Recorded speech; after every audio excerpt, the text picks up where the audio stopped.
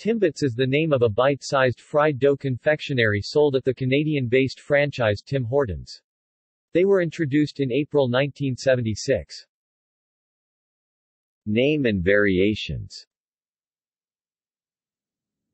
The word timbit is a play on the word tidbit, a delicate bit or morsel of food. As of 2009, they are available in various flavors that differ from store to store.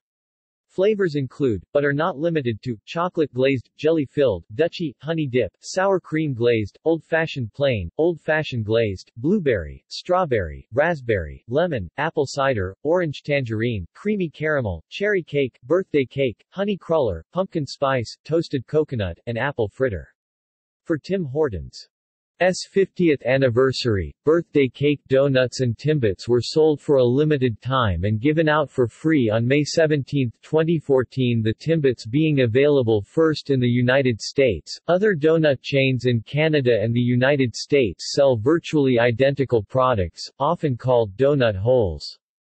The majority of Canadians generally use the Timbits trademark to designate the product, while French-speaking Canadians prefer to use the generic term trous de beigne.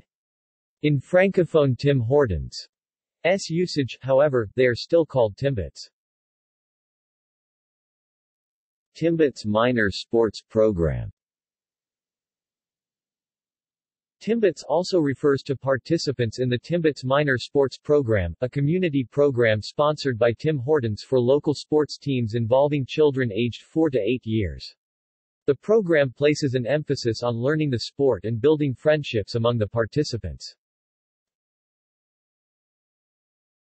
See also List of donut varieties List of fried dough varieties List of breakfast foods. Food portal. References. External links. Tim Hortons